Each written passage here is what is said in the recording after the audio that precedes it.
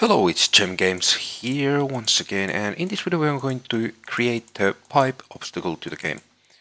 So yeah, let's get started. First we want to go to the resources folder and we want to select both of the pipes and we want to right click and create sprite. Okay, now let's go back to the blueprints. Let's right click and create a new blueprint class, type actor. Let's call this pipes. Now let's open it. Let's drag from it and move it next to the level 1. Now let's search for a paper. Right. Let's call this pipe upper. Let's select our pipe upper sprite. Now what we want to do, we want to set the X size to 2.5 and y to 0 0.005 and set to 3 okay? Also let's set the location set to 3000 like that. Okay? Next thing what we want to do is we want to keep the pipe upper selected and we want to add a collision, box collision. And let's call this set collision upper. Okay, now let's set uh, x size to 3.5, y to 1000, set to 23, and now let's reset this location value. So it should be exactly the same size as the uh, pipe, uh, pipe upper sprite. If it's not, you can adjust it a little bit and actually I think it should go a little bit further down like this. Okay, actually let's make it like minus 5. Okay, now what we want to do, we want to duplicate the pipe upper. Let's call it pipe lower. And let's ch let's change the sprite to pipe lower sprite and the location to minus 3000. Okay. The next thing is we want to select the dead collision. Let's copy it and let's select the pipe lower and let's paste it to there.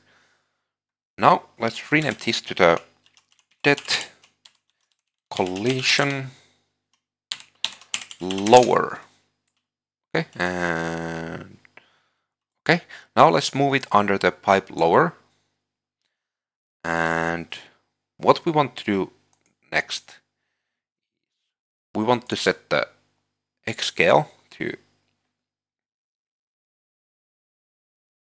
uh, actually yeah. Let's set the X scale to 3.5 Y to 1000 and X to 23 the location is I think it's zero. Yeah. Actually let's closer and check. Let's actually set the chat location to 5. I think that's better. Okay, now let's select the pipe upper and pipe lower. And here on collision presets, we want to set it to no collision. Okay, because we don't want to have any collision on the actual sprites. So the next thing, what we want to do is we want to go to the event graph and we want to del delete everything else than the event tick. And from the event tick, we want to actually first get the default scene root and we want to set world location. Let's connect it to the event tick like this. Let's move this a little bit further up. Oh, and actually a little bit further that. Let's split the new location struct pin. Now let's get the world location from the default scene root. So get world location. Now let's split the return value. And we can just connect the Y to Y and set the set. But on the X, what we want to do, we want to add a value. Let's connect this to the X. Let's move this a little bit further down. Okay, and what we want to add, we want to add minus 25. Or you can just minus, get the minus node and make it 25. But I don't know, I like to do it this way. So, next thing, what we have to do is we want to compile, we want to save and go back to level 1. Here, we want to go to the GM Flappy and we want to open full blueprint editor. Here we want to create a new function called spawn pipe. Here what we want to do, we want to get from the execute pin and we want to spawn actor from class. Class will be the uh, uh, pipe. Let's actually search, search for it. So pipe, pipes. And the spawn transform, we want to split it and we want to promote spawn transform location to a variable. Let's rename this to pipe spawn location. Okay. Now we want to check where we want to spawn the pipe. So let's go to the level one. Let's move our pipes to the level and actually let's set the locations. So X, 0, Y, let's make it like 10 and set like 0. Let's move it right so we can see where we want to spawn them. So, okay, screen ends here, so we want to spawn them around here. So, 2500 units on the X. So, let's go to the GM Flappy and let's set the pipe spawn location. Actually, we have to compile first. Compile. X, let's set it to 2500 and Y, let's set it to 12 because I will sh show you quickly. So let's compile, save, and here on the background blueprint, we actually don't have anything yet, but on the later episodes where we will spawn some background, we will uh, use some specific values that uh, how do I explain it? Like we want to set this uh, y location to 12 because we want one of the backgrounds to be at 5 other one on 10 and uh, closest to the camera be to be in uh, 15 so we want these pipes to go like in between them. I will show you on the later episodes. But yeah, and now what we want to do here, we want to change this collision handling override to always spawn ignore collisions. And the next thing, what we have to do is we want to go back to the pipes. We can actually close this background if you open that. And here on the pipes, what you want to do, you want to create a new variable. Let's call it game mode underscore ref. Let's change the variable type to gm underscore flappy object reference. Now let's make it instance editable and expose on spawn. Okay. Expose on spawn means that when we spawn a actor like here, it will we will be we can set the variable but now we can see it because we have to first change this to something else like none and then back to pipes. It will update. Now we have the game mode ref variable here. Now we want to get from this and we want to just get the reference to self, like that. Okay, now let's compile, let's save. Now let's go to the event graph. And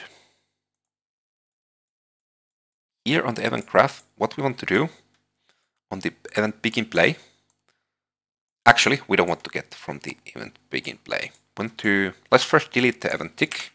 Let's create a new custom event. The custom event will be called start game. Okay, and here let's leave some space and let's create a node called set timer by function name. Now let's connect it. Let's leave some space here. We will add some code here later. And the function name should be this one here. So pawn underscore pipe. And it has to be written exactly like here. And time, let's promote this to a variable. And let's rename it to time between spot and let's compile so we can set the value. Let's set it to 1.5 seconds. Okay? And let's make this to loop like that. So now when we compile and we save all we go to the level 1 and play. You can see we have actually we don't have. Oh let's delete this from the level. And here on the GM Flappy on the event play we can play. We want to call the start game function. And the reason why we created a new custom event and we did just call this from the event begin play is because we have we want to add some functionality here later on. And we want to we don't want to call this straight from the event begin play. But now just for testing purposes we want to do it that way. So yeah. Now compile and save again and let's play. We should see pipes coming that. Okay now one more thing what we want to do with these pipes is let's close the game. We actually want to go to the spawn pipe function and here we want to cut this link. We want to split this transform location also split this and let's move this spawn actor pipes a little bit further also the self reference and here we want to get the x to the x y to the y. And for this set we want to actually we want to get get random oh it's only random float in range. Okay we want to get this connect this to it, it to there.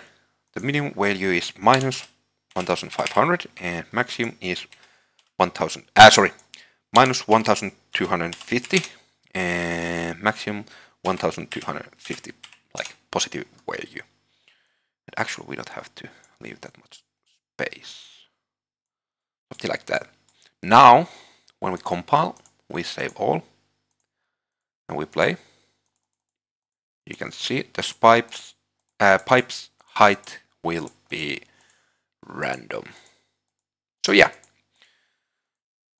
So I think that was all for this video. If you like what you saw, please click the like button and subscribe for more. And yeah, hope you have a great day and see you in the next one.